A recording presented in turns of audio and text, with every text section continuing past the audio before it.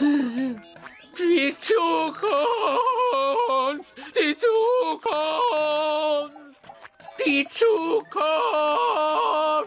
Die Zukunft! Danke.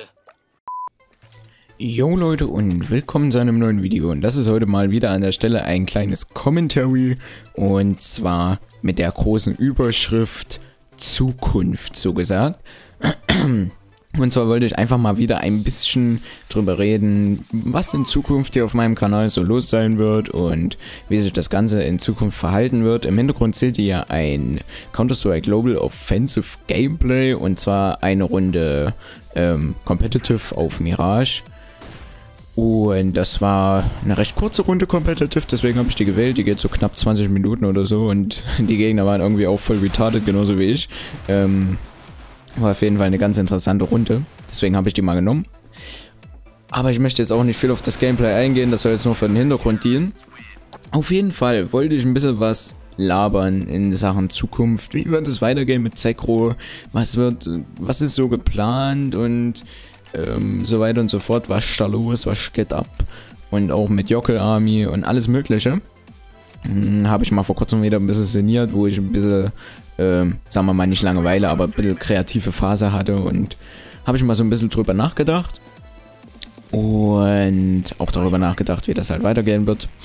Euch ist ja aufgefallen, wenn ihr auch die ganzen äh, Infovideos und so weiter und so fort davor gesehen habt, ähm, dass ich meinen Kanal halt so ein bisschen umgestellt habe, weil ich halt keinen Bock mehr hatte auf diese typischen Let's Plays, sage ich mal so, also diese live kommentierten Videospielausschnitte und deswegen habe ich mich halt so ein bisschen umgestellt, habe mir ein paar Vorbilder besorgt, ähm, nach denen ich auch so ein bisschen meine Videos richte, weil ich mache sehr gern das, was ich auch sehr gern schaue. Und deswegen habe ich mich halt, wie ihr schon gesehen habt, wahrscheinlich in letzter Zeit ziemlich stark auf sowas wie Edits oder so kleine Kurzmontagen oder so, ähm, die, die ein bisschen kreativ bearbeitet sind und so weiter und so fort fixiert weil ich sowas zurzeit auch lieber schaue, als so lange Let's Play-Folgen und so weiter und so fort. Und ja, da habe ich mir vor kurzem gedacht, im Grunde genommen, also ich möchte nur, mal noch, nur noch mal kurz sagen, das war jetzt äh, die ganze Zeit eigentlich nur so ein bisschen experimental ähm, gemacht, weil ich habe in letzter Zeit ziemlich viel beobachtet, wie werden die Videos geschaut, wie viele Leute schreiben da Kommentare, wie sehen die Kommentare aus, ähm, ist da viel positives Feedback mit dabei, ist da viel negatives Feedback mit dabei, ist da überhaupt Feedback mit dabei, wie viele positive Bewertungen gibt es, wie viele negative Bewertungen gibt es, wie lange werden die Videos geschaut und so weiter. Das habe ich alles so ein bisschen analysiert und ähm, habe da so ein bisschen meine Schlüsse draus gezogen. Ähm, ich mache ja das hier mal aus, damit, ja, damit das nicht so blöd aussieht.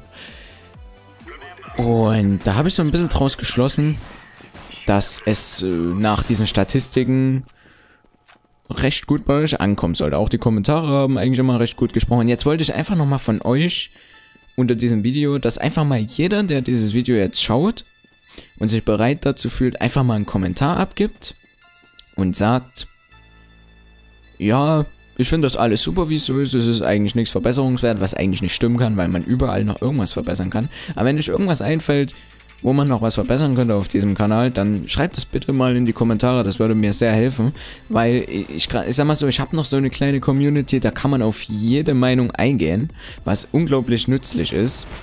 Da kann ich halt einfach sagen, ja, kann ich, ich, ich kann es halt einfach besser auswerten, wenn vielleicht nochmal fünf Leute mir sagen, yo, das kannst du noch verbessern, das ist äh, gut, das ist schlecht und so weiter. Also wenn mir das äh, 10.000 Leute sagen, ist jetzt vielleicht ein bisschen übertrieben, aber es ist ja so. Kann man sich ja dann nie auf alle Meinungen ähm, im Einzelnen konzentrieren. Und deswegen möchte ich das noch so ein bisschen ausnutzen. Ich mache ja die Videos auch für euch und nicht für mich. Ähm, sie sollen ja euch unterhalten. Und ich habe mir einfach so überlegt, eigentlich äh, wäre es schon gut für diesen Kanal, mal wie so eine Art Restart zu äh, durchzuführen.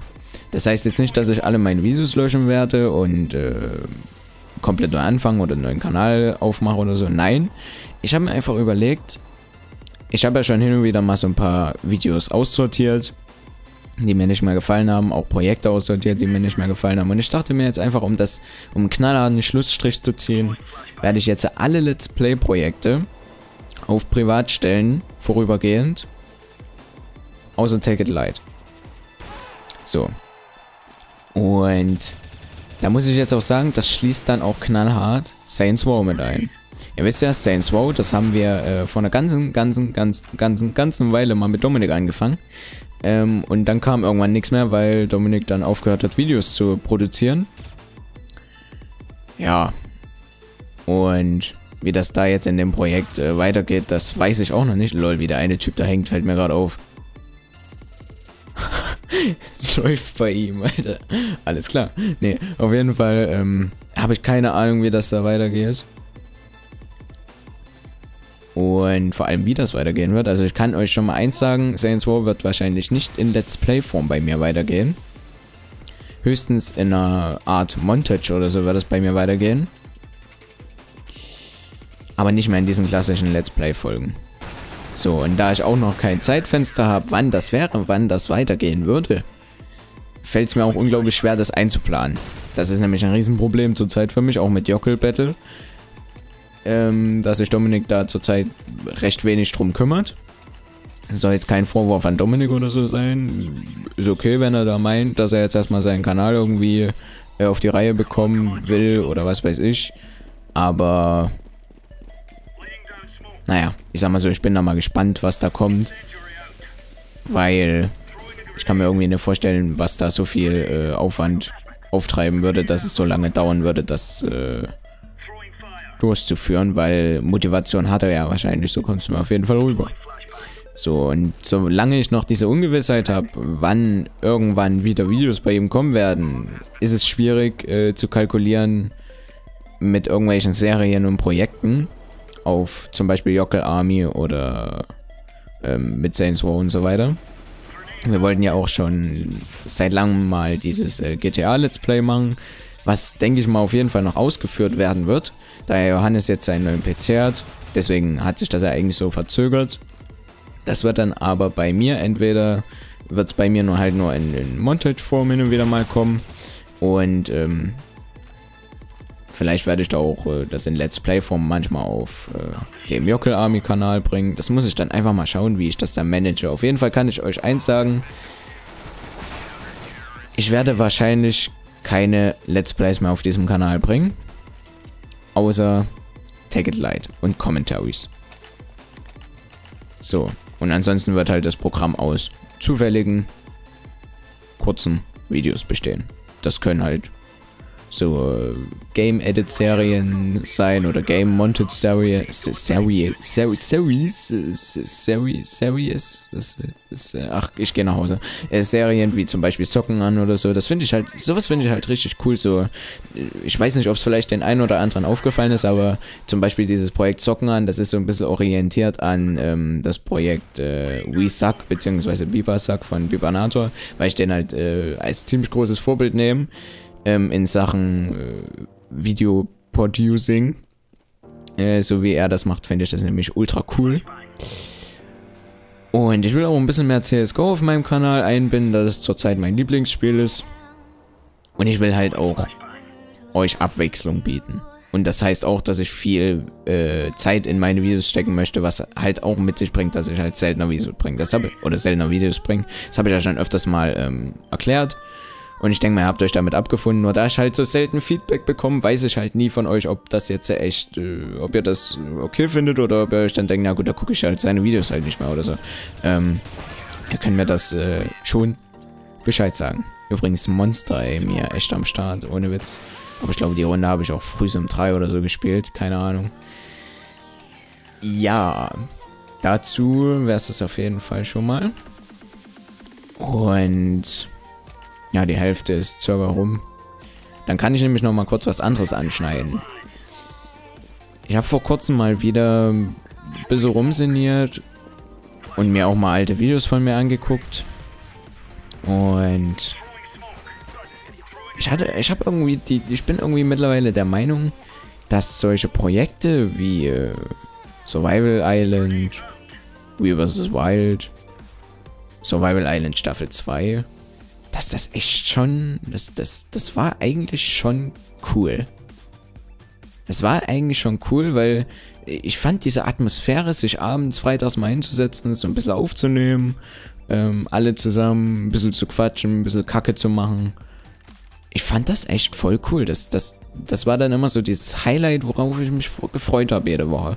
Ähm, und irgendwie habe ich das Gefühl, dass, dass sowas irgendwie wieder richtig cool wäre, würde man das jetzt nochmal ins Leben zurückrufen. Sowas wie Survival Island oder so. Sowas gechilltes. Jetzt nochmal mit allen Leuten zusammen aufzusetzen. Das ist jetzt nur mal so eine Idee von mir. Ich habe das auch mit den anderen bis jetzt noch gar nicht abgesprochen, weil es einfach ähm, zurzeit nur so eine Idee von mir war. Was würdet ihr davon halten, wenn wir auf Jockel Army wieder mal so ein Projekt machen, was so circa ist wie Survival Island, dass wir halt so ein bisschen in Minecraft was machen. Ähm, und dann da halt ein paar Folgen kommen. So 30 Minuten lang. Ungeschnitten. Ganz normale Let's Play Folgen halt auf Jockel Army. Äh, wo vielleicht mal der eine mal was hochlädt, der andere mal was hochlädt. Mehrere mal was hochladen, um erstens den Kanal mal ein bisschen zu beleben. Und zweitens vielleicht auch diese alten Let's Plays trotzdem weiterzuführen. Weil ich fand das eigentlich schon ganz nice. Weiß nicht, was ihr davon halten würdet. Also ich würde es auf jeden Fall cool finden. Ich muss das natürlich dann noch mit den ganzen anderen Leuten absprechen, wie das sein wird.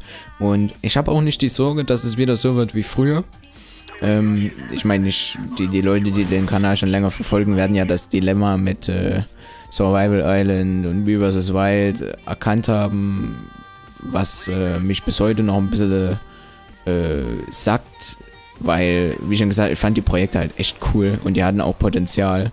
Es hat sich dann halt immer nur verlaufen und dann gab es diesen Punkt, wo es auseinandergeschlagen wurde, durch verschiedene Gründe.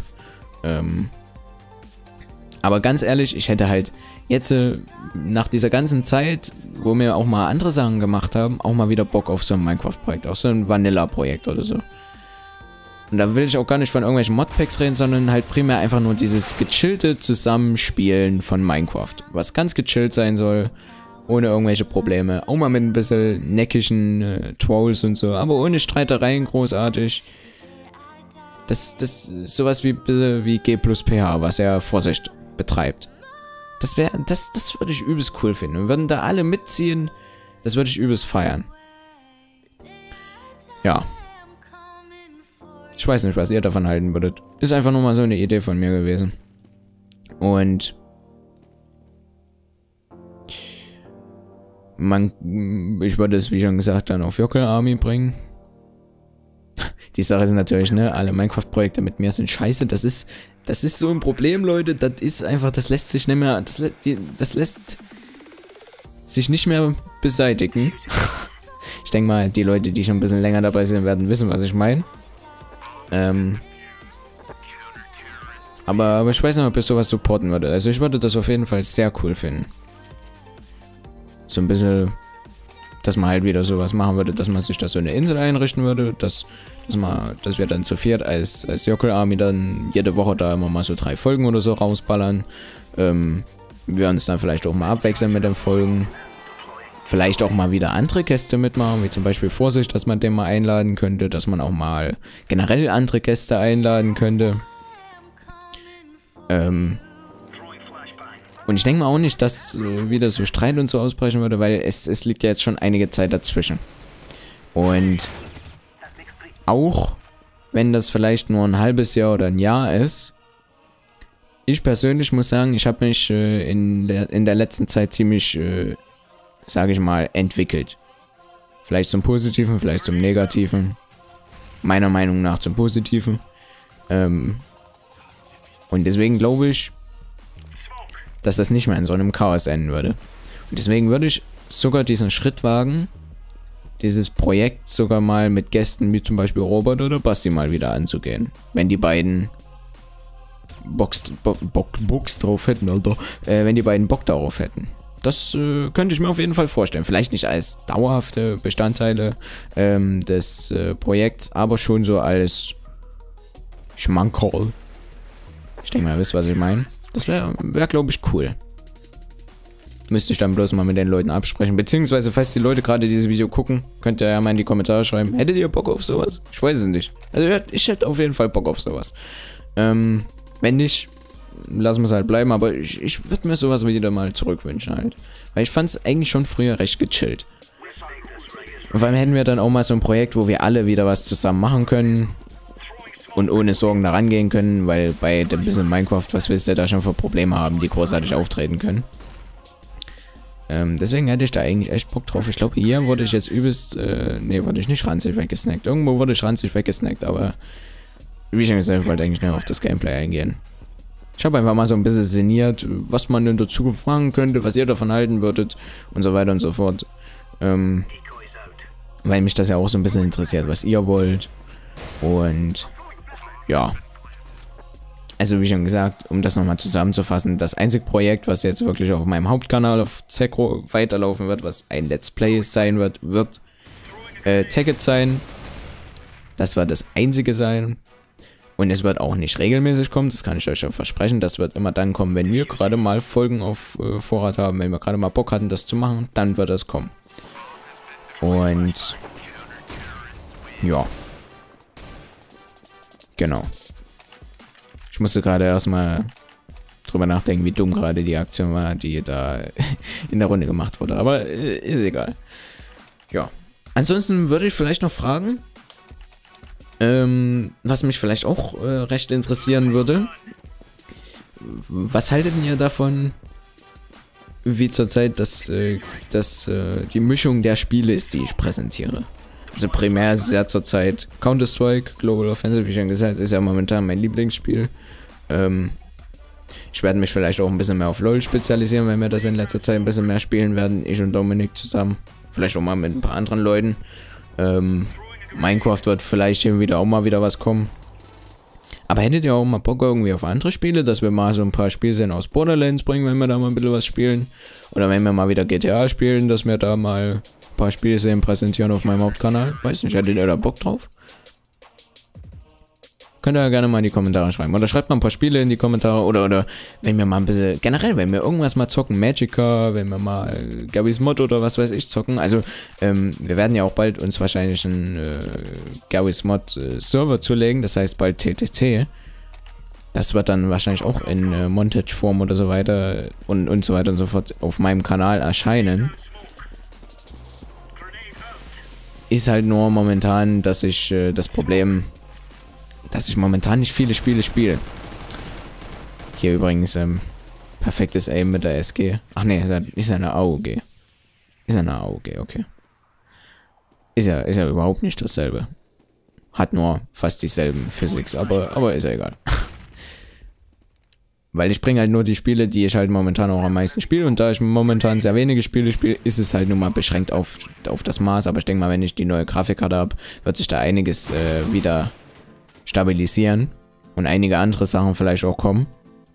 Und vor allem, wenn auch wieder Ferien sind, werde ich wahrscheinlich auch wieder richtig auf die Kacke hauen. Ich bin ja kein Fan vom Vorproduzieren, aber ich glaube, da werde ich mal so wieder in Sachen Edits und so weiter und so fort mich mal ein bisschen, oder, oder vielleicht mal, sogar vielleicht mal so eine Art Shortfilm oder so angehen, mal schauen. Hier übrigens, Kollege aus unserem Team, erstmal wunderschön Ninja diffused. Also diese Runde, die war irgendwie schon interessant, wenn man das so ausdrücken kann. Naja. Und ja. Ihr merkt, mir gehen die Gesprächsthemen aus. ich wollte einfach nur so ein bisschen drüber reden, wie es vielleicht mal in der Zukunft weitergehen würde. Vielleicht eure Meinung ausholen. Einfach mal so ein bisschen dahin labern. Ich meine, das Problem ist halt auch, wenn ich äh, Edits und, und Montages halt mehr mache, ähm, da fehlt so ein bisschen diese, diese persönliche Komponente meiner Meinung nach. Diese, diese Person dahinter, wenn man jetzt nicht mehr so aktiv kommentiert und so weiter und so fort. Ich denke mal, ihr wisst, was ich meine.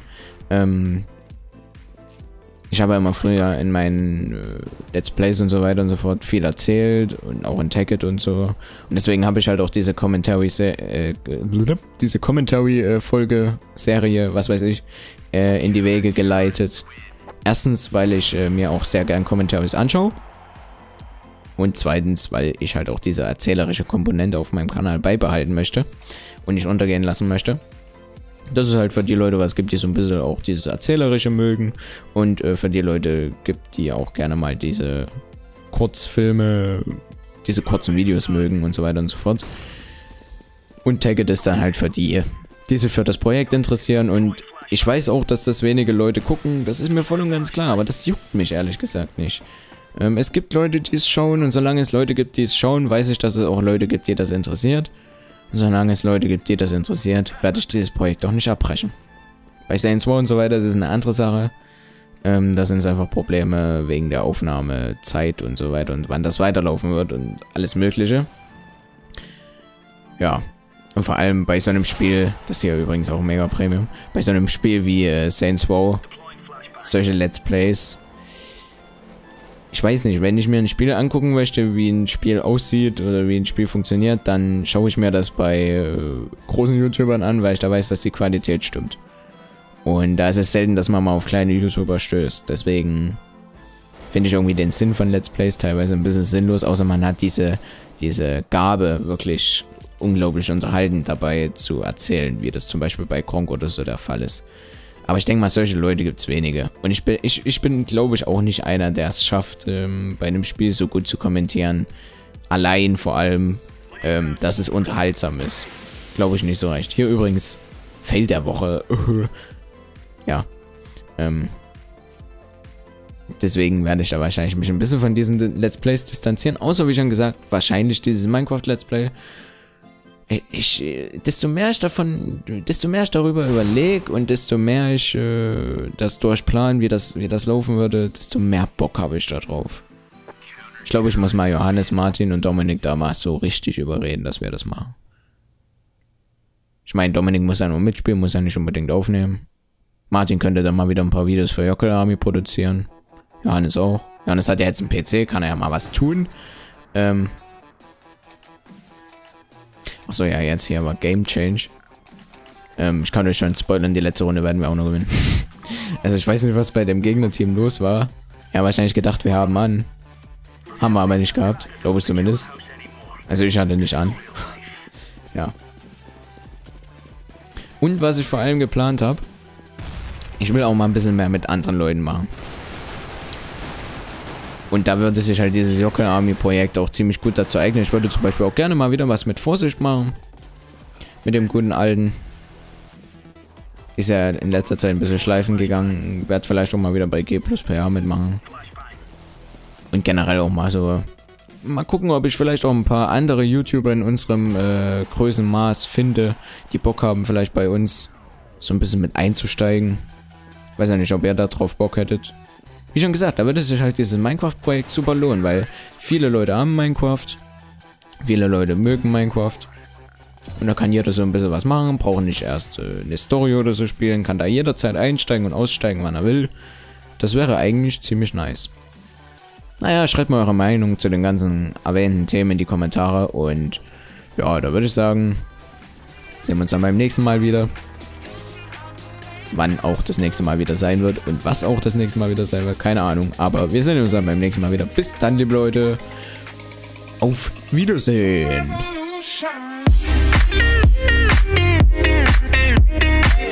Komm, Junge, ich zieh jetzt erstmal Socken aus und dann neue an, weißt du? Chill mal deine Base jetzt, ja? Ja, fang doch an, wann du willst. Fang doch wegen mir jetzt an, aber da bin ich nicht dabei. Ja, 20 Uhr bin ich dabei und, und fick dich in den Arsch. Socken als Kondom. Ach, keine Ahnung, was ich gesagt habe. Tschüss. Ich pimmel sie alle weg, weißt? Schnell und saftig, schnell in mein Bett und dann geht's weiter.